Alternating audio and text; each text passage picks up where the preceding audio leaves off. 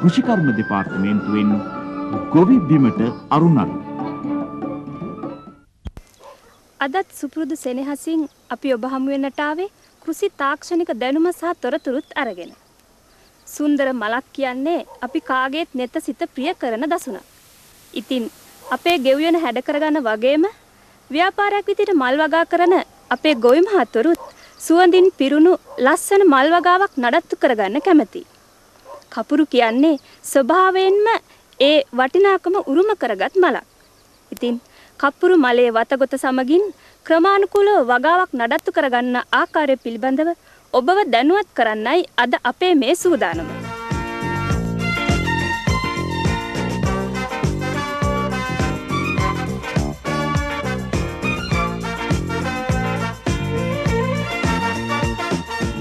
ශාකලෝකය විශ්වයේ ඇති අපූර්වතම නිර්මාණයක්. මේ නිසා මිනිසාගේ නෙත සිත ශාකලෝකයේ සුන්දරත්වය කෙරෙහි නිරායාසයෙන් මෑදී යනවා. දැවන්ත ගහකොළ විචිත්‍ර වර්ණයන්ගෙන් සැදනු විසිතුරු පත්‍රික ශාක විවිධ විලාසිතාවන්ගෙන් හා සුවදින් පිරුණු මල්වර්ග මේ ශාකලෝකයේ අපට දැකගන්නට පිළිවන්. අතීතයේ පටන්ම කෘෂි ආර්ථික රටාවකට හැඩගැසුණු ලාංකික ජනයාගේ ජීවිකාව මේ සියලු දේ වටා බැඳී පවතිනවා.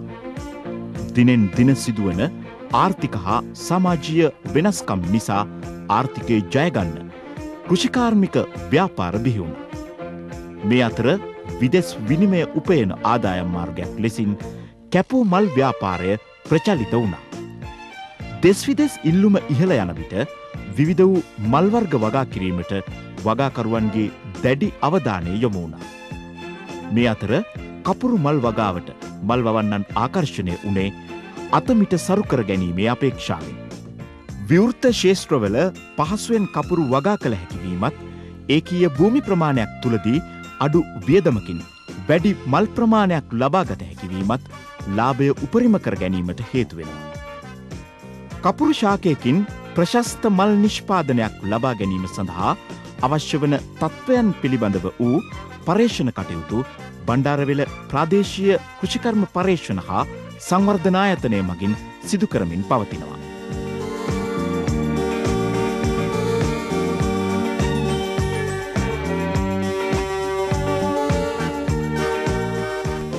කපුරු බෝග වගා කරන්න පුළුවන් දේශගුණය බැලූත් එකනෙ සුදුසු උස්නත්තේ සුදුසු ආර්ථිකදාවේ බැලූත් අපේ රටේ ඇතුළ උඩරට සහ මැදරට කලාපවලින් වගා කරන්න පුළුවන්.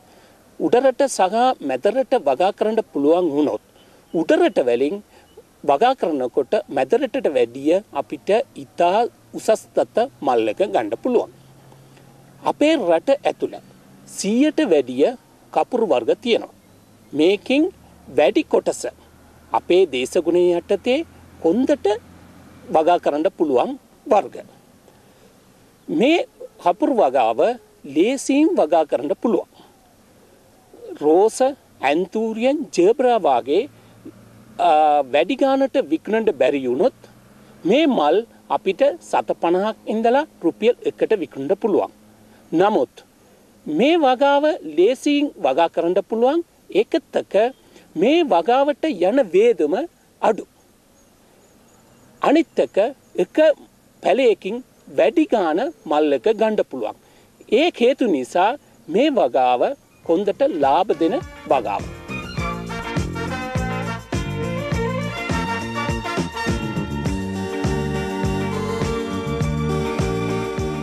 ඇස්ටරේසිය කුලේට අයත් කපුරුෂාකයේ ආකාර දෙකක් දකින්න පුළුවන්. බඳුන්ගත ශාක ඉන් එක් වර්ගයක් වෙනවා. අනෙක් ආකාරයේ නම් කැපූ මල් ලෙස භාවිතා කරන වර්ගයයි.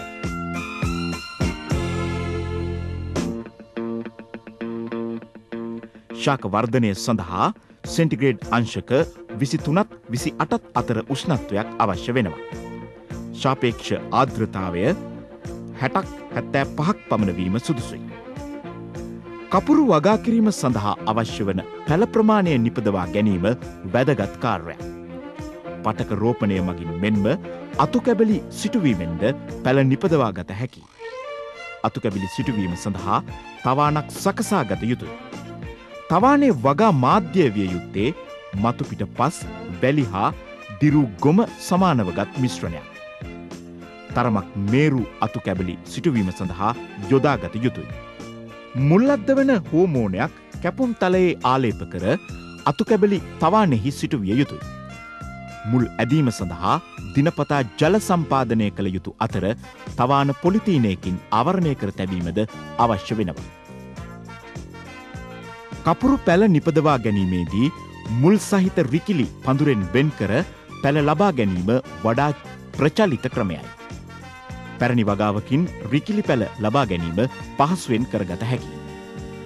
ශේෂත්‍රයේ පැළ සිටුවීම සඳහා සෙන්ටිමීටර් තියක් පමණ ගැඹුරට පස පෙරලා උස්පාත්ති සකස් කරගත යුතුයි. මෙ පාත්තිවල සෙන්ටිමීටර් තිහේ තිහේ පරතරයට වලවල් කපාගෙන කාබනික පොහොර වශයෙන් ගොම පොහොර එකතු කිරීම අවශ්‍ය වෙනවා. ඊට අමතරව මූලික පොහොර මිශ්‍රණය යෙදීමද කළ යුතුයි. හෙක්ටයාර් එකක් සඳහා යුරයා කිලෝග්‍රෑම් දෙසිය විසි පහක් ප්‍රිප සුප පොස්පේට් කිලෝග්‍රෑම් එකසිය පණහක් හා මියරේට of පොටෑෂ් කිලෝග්‍රෑම් දෙකක මිශ්‍රණයක් නිර්දේශ කරයි.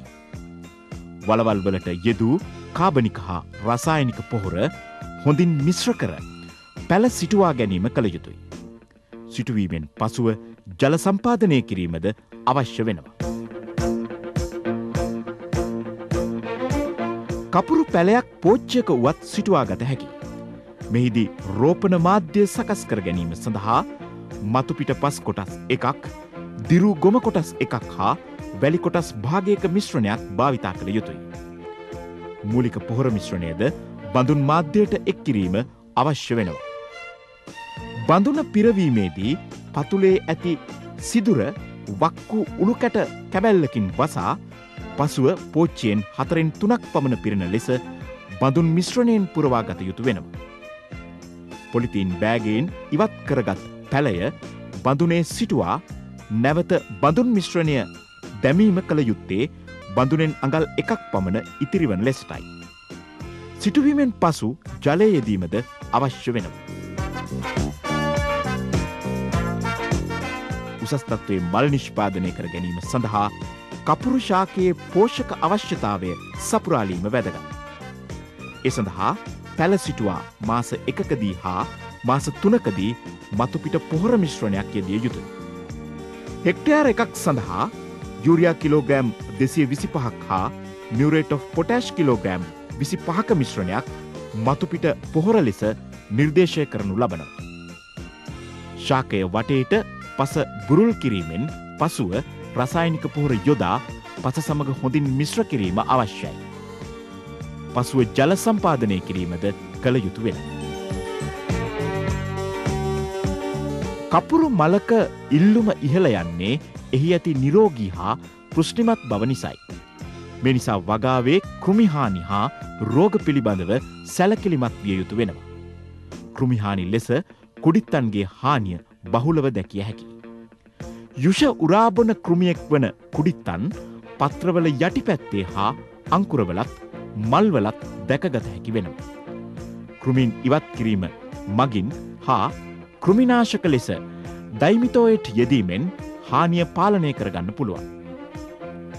කපුරු වගාවේදී ප්‍රධාන වශයෙන් දිලීර මගින් ඇතිවන සුදුපුස් රෝගය හා පත්‍ර පුල්ලි රෝගය දැකගත හැකි.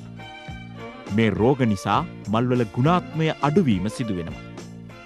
රෝගී ශාක කොටස් ඉවත් කිරීම මගින් හා සුදුසු දිලීරනාශකයක් යෙදීමෙන් රෝගය පාලනය කරගත හැකි.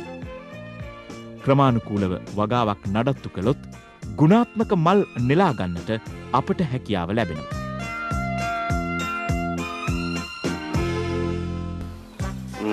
මම මේ කපුරු මල් වගා කරන්නේ අපි කපුරු මේ මල් පැල හදලා අවුරුද්දක් එකහමාරක් වගේ කාලයක් අස්වැන්න නෙලා ගන්නවා. ඒ වගේම අපිට හොඳ අස්වැන්නක් එනවා මේ මල් වලින්. වෙළඳ පොලේ අපිට එච්චර ගැටලුවක් නැහැ. අපේ මල් ගෙනියන්න කට්ටියක් එනවා. ඒ වගේම අපිට හොඳ ආදායමකුත් ලැබෙනවා.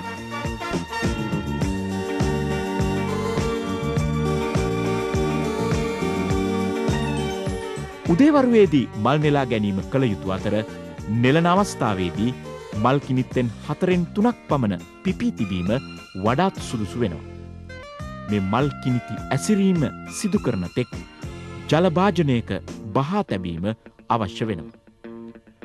බටපතුරුවලින් සකසන ලද මල්කූඩාවල මල් ඇසිරීම සිදු කළ හැකි. ප්‍රවේශමෙන් මල් නොතැලෙන පරිදි ඇසිරීමෙන් පසුව අපට ඉතාමත් පහසුවෙන් ප්‍රවාහනය කරගත හැකි වෙනවා.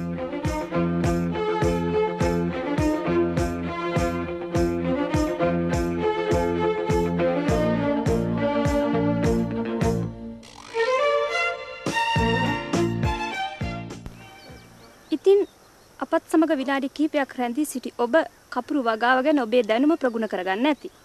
ඔබට ඒ සම්බන්ධයෙන් තවත් ගැටලු තියෙනවා නම් මේ ලිපිනයට විමසා දැනගන්න පුළුවන්. නියෝජ්‍ය අධ්‍යක්ෂ පර්යේෂණ ප්‍රාදේශීය කෘෂිකර්ම පර්යේෂණ හා සංවර්ධන මධ්‍යස්ථානය දියතලාව පාර බණ්ඩාරවෙල. ඒ වගේම ඔබට වෙනත් කෘෂිකාර්මික ගැටලුවක් තියෙනවා නම් ඔබ කල යුත්තේ ළඟම පිහිටි ප්‍රදේශයේ ගොවිජන සේවා මධ්‍යස්ථානයට බදාදා දිනකදී ගිහිල්ලා කෘෂි උපදේශක මහත්මයා හමු වෙලා ඔබේ ගැටලු ඉදිරිපත් කර විසඳුම් ලබා ගන්න එක. ඒ වගේම අපිටත් පුළුවන් ඔබේ ගැටලු වලට විසඳුම් දෙන්න. අපේ ලිපිනේ මතක් කරනවා නම් සහකාර කෘෂිකර්ම අධ්‍යක්ෂ ශ්‍රව්‍ය දෘශ්‍ය මධ්‍යස්ථානය ගන්නොරුව පේරාදෙනිය. ඉතින් මෙවන් වූ තාක්ෂණික තොරතුරුත් සමගින් ලබන සතියේත් අපි එනවා ඔබ හමුවන්නට. එතෙක් ඔබ සැමට වාසනාවන්ත සතියක්.